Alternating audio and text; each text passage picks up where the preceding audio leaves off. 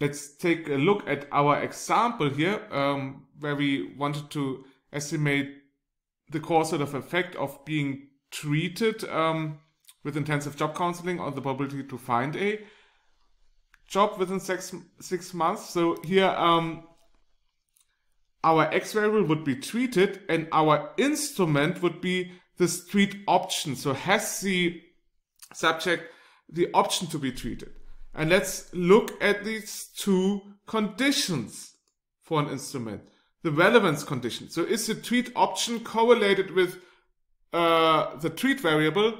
Yes, it's positively correlated because only those subjects who have the option for intensive counseling can have a, a one in the treat variable. So only if treat option is one, we can have a one for, for treat, even so not everybody uh, is treated who has the option. So we have clearly uh, a positive correlation. The relevance condition is satisfied. So is the exogeneity condition also satisfied? So is the option to be treated not correlated with the error term with any other factor that influences the probability to find a job within six months?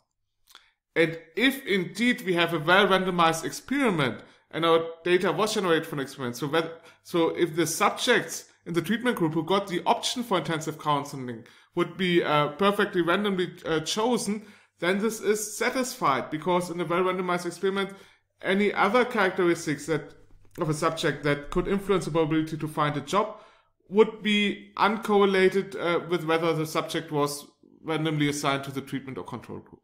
So in a nicely random, if the instrument comes from a nicely randomized experiment, this exogeneity condition is fulfilled.